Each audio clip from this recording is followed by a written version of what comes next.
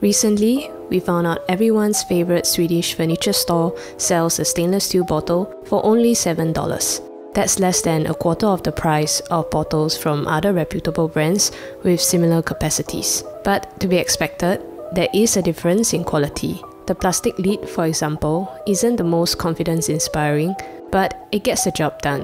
Which of the two would you pick? Or do you still prefer drinking from single use bottles?